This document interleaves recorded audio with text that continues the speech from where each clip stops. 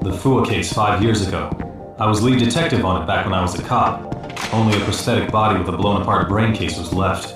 Hmm, so the death had been faked.